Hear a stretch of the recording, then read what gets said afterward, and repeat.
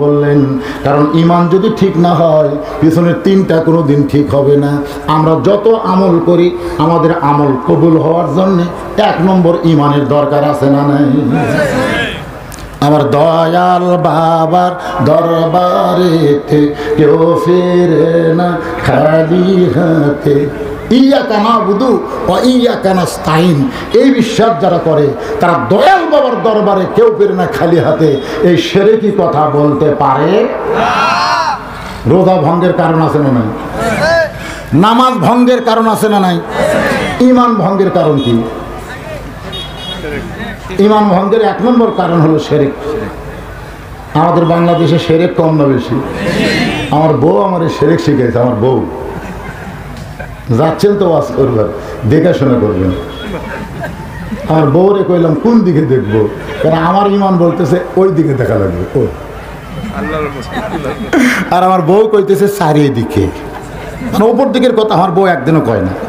খালি চারিদিকে দেখবেন কি দেখব? ওই পুলিশ আছে কিনা? শুনলাম যে এখানেই থানা। ট্যাব আছে কিনা? বর্তমান সরকারের কোনো ক্যাডার ক্যাডার।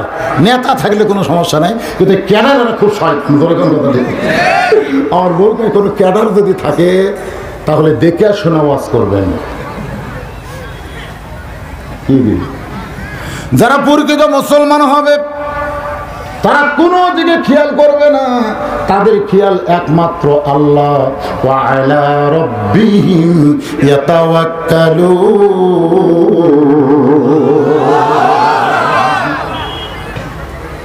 ইমানদার যারা হবে, আল্লাহ এক নম্বর ইমানের কথা কেন বললেন? ইমান ভঙ্গের এক নম্বর কারণ হলো সেরে আমাদের বাংলাদেশে সেরে কম না বেশি? চাকরি না হলে চলবো কেমনে? ব্যবসা না হলে খাব কি? আবাদ না হলে বাঁচবো না। আপনার বলেন তো, সোলানোর মালিককে খাওয়ানোর মালিককে, বাঁচানোর মালিককে, এই কথা আমরা মাঝে মধ্যে বলে থাকি। আল্লাহরে ধন নবীরে দিয়া আল্লাহ আছে গায়েব হইয়া। নবীরে ধন খাজা পাইয়া শুয়ায় আছে আজমিরে। কেউ ফেরে না খালি হাতে খাজারে তোর দরবারে। এর সাইতে জোরে নাউজুবিল্লাহ মনে হয় আপনার কর বলেন ইমান এক নম্বর।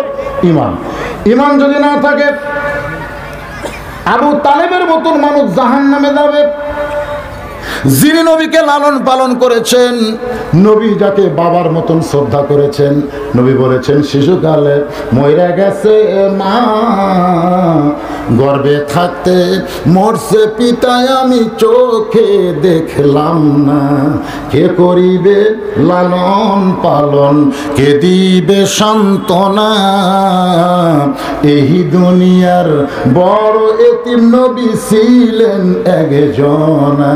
সেই নবী বলেছেন, চাচা, আপনি আমার যেভাবে লালন পালন করেছেন, আমার যে বাবা নাই, এটা কোনোদিন আমি মনে করতে পারি নাই। চাচা আমি জান্নাতে যাব, জান্নাতের মালিক হব, আর আপনি জাহান নামে যাবেন। এটা আমি চাই না গো চাচা।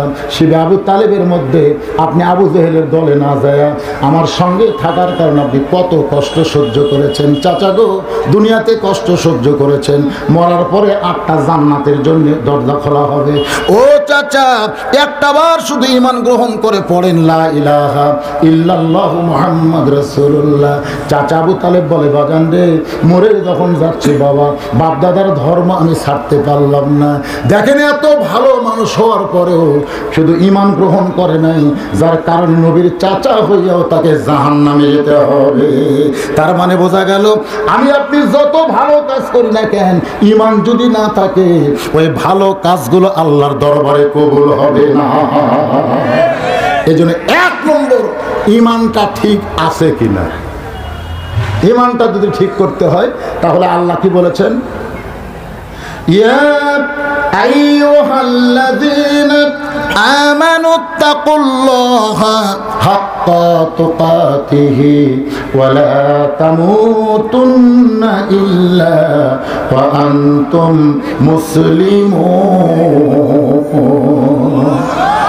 ইমানদারকে লক্ষ্য করে আল্লাহ বলতেছে, ইমানদার যদি ঠিক রাখতে চাও, তাহলে এক নম্বরে ভয় করতে হবে কার? আরও জোরে, জোরসে বলুন। আপনি সত্যি করে বলেন তো, রংপুর কেন্দ্রীয় মসজিদে আপনি যখন জোহরের নামাজ পড়বার ঢুকবেন, সত্যি করে বলেন, আপনার পায়ে যদি হাজার টাকার জুতে আর থাকে বুকো থেকে থাবা দেখুন তো, যে হাজার টাকার জুতে, আল্লাহর ভয় আপনি দরজা ছেড়ে দেওয়ার পারবেন? পারবেন? আল্লাহর ভয় যা কিছু হয় কার তরফ থেকে হয়। কার তরফ থেকে? হয় আল্লাহর প্রতি ভরসা করে আমি জুতে হাজার টাকা, আমি হাজার টাকা বুঝি না আটটা করলাম ডিগ্রি অর্জন করার জন্য জুতে রেখে আমি ভিতরে ঢুকলাম। এই নিয়তে ঢুকে পারবেন? আপনার মন বলবে, দরকার নেই। দরকার নাই। আল্লাহ সব জায়গায় সব কাম করে না। জুতা সামলা এই জুতা নিয়ে আপনি যখন যাচ্ছেন, তখন মজ্জিন সাহেবকে আল্লাহ পরীক্ষা করার জন্য খাড়া করে বলতেছে মজ্জিন সাহেব, আপনাকে জিজ্ঞাসা করতেছে, আপনি কার ভয়ে ঢুকতেছেন? আল্লাহর ভয়ে। মসজিদে মানুষ কার ভয়ে ঢুকে জানিস না? তো আল্লাহর ভয়ে যখন ঢুকতেছেন, তো জুতা কেন? তখন আপনি বলতেছেন, চোরের ভয়। চোরের ভয়, আল্লাহর ভয় একসঙ্গে যদি রয়, তার কোনোদিন নামাজ কবুল হয় না। এখন আমাদের বাংলাদেশে এই চোর যারা আছে, তাদেরকে শাস্তি দেওয়ার বিধান বাংলার সরকারের আইনে যেটা আছে, সে আইন দিয়ে কোনোদিন চুরি বন্ধ হবে না। চুরি বন্ধ করতে গেলে, আত্মাকুল্লা ডিগ্রি অর্জন করতে গেলে আমার আল্লাহর আইন চালু করতে হবে। ধরে এখান থেকে আপনারা সকলে বলেন রাস্তার ডান সাইড দিয়ে হাঁটবো না, বাম সাইড দিয়ে। আল্লাহ হুকুম করেছে, ডান সাইড দিয়ে হাঁটতে হবে। আর শয়তান বলেছে, বাম সাইড দিয়ে হাঁটতে হবে। আপনি বাম সাইড দিয়ে হাঁটে হাঁটে ডান পায়ে মসজিদে ঢুকলেন। আপনি বাম সাইড দিয়ে হেঁটে হেঁটে মসজিদ ঢুকলেন কোন পায়ে? ওটি আপনি ডান পা দিলেন কেন কন, আপনারা কন? এই বিমানটাকে ঠিক করি, তারপর বাকি তিনটা আলোচনা শুনতে হবে না? তো আপনি বাম বাম সাইড দিয়ে হাঁটে আসলেন। রাস্তার কোন সাইড দিয়ে হাঁটলেন? ঢুকলেন কোন পা দিয়ে? কারণ কি? কারণ আপনার ইমান বলতেছে যে গোটা বাংলাদেশ আল্লাহর না, মসজিদ শুধু আল্লাহ মসজিদের মধ্যে আমরা আল্লাহর আইন মানব, আর মসজিদের বেড়া গেলে নিজের ইচ্ছা মতো চলবো, নাকি? এটার নামে ইমান। এটার নাম ইমান। মসজিদ কার? এ জায়গা কার? আমাকে বললে, হুজুর, এই জায়গা কার আপনি জানেন? যে জায়গায় মাহফিল হচ্ছে, এই জায়গা কার আপনি জানেন? কার জায়গা? বলে, যিনি মাদ্রাসার জায়গা দিচ্ছেন ওনারই জায়গা। ওই বাড়ি কার? ওই ওটা আমার। ওই সাইডে কার? ওটা আমার। ওই সাইডে কার? ওই এই এলাকায় আমার। ওই সাইড আমার ছোট ভাইয়ের, ওই সাইড আমার বড় ভাইয়ের। এলাকার মধ্যে পাওয়া দেওয়ার জায়গা কারও নেই। তো সবই যদি তোমাকে হয়, আল্লাহর খুনবে আল্লাহটা দেখতে গেলে দুই মিনিট হাঁটা লাগবে, দুই মিনিট। তাছাড়া আল্লাহটা দেখা যাবে না। সে বলতে চলো দেখে আসি। তখন হাত ধরে নিয়ে গেছে মসজিদের কাছে। মসজিদের সামনে যে বলছে যে, হুজুর, এখানেও আল্লাহর কিছু ছিল না। এখানেও আল্লাহর কিছু ছিল না। আমার বাপ আমার বাপ। এই দশ শতক আল্লাহ দান করছে। যখন ফেরত থাকে আল্লাহ, এটা কোন দেশ আল্লাহ? যেই দেশে তোমার কিছুই নাই আর বাপ দান করলে তুমি পাও। এই দেশের নাম কি? আল্লাহ বলতে যে ওই দেশের নাম হলো বাংলাদেশ রে। ওই দেশে আমি আল্লাহর চাইতে গরিব কেউ নাই রে। ওরা দান করলে আমি পাই রে, তখন আমার কিছুই নাই রে। এটাই ইমান নাকি? এটাই ইমান কি কন, এটাই ইমান যতক্ষণ পর্যন্ত মসজিদ যার, গোটা বাংলাদেশও তার, এই বিশ্বাস না করতে পারবেন, ততক্ষণ পর্যন্ত একটা আমলও কবুল হবে না। ধরে ও আমিলো সলেহা পরে আসতেছি। আগে দেখি তো আমাদের ইমানের খবর কি। এক নম্বর হলো ইমান। সেই ইমানকে তিন ভাবে ব্যাখ্যা করা হয়েছে। বলা হয়েছে, একরার বিল লিসান, দুই নম্বর তাসদিক বিল জেনান, তিন নম্বর হলো আমল বিল আরকান। রাসুল বলেছেন, লা সলাত আলা ইমানা যার নামাজ নাই তার ইমান নাই।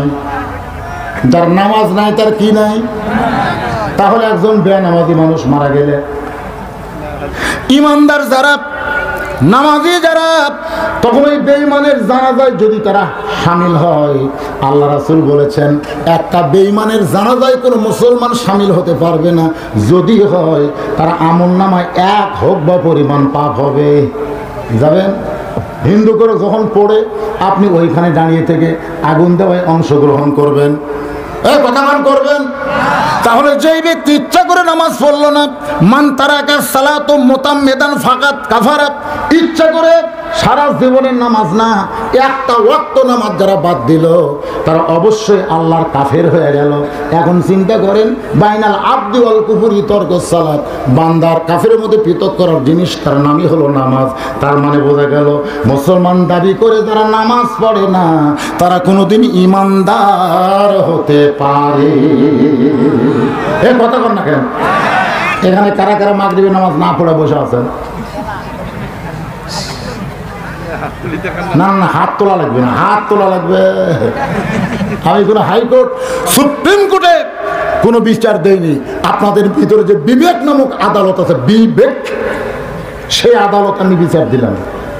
কারা কারা মাগরিবের নামাজ পড়েননি, যদি এসার আগে আপনি মরেন, এসার আগে যদি আপনি মরে যান এক এক হুজুর যদি আপনার জন্য দোয়া করে, একটা দোয়া কবুল হবে না।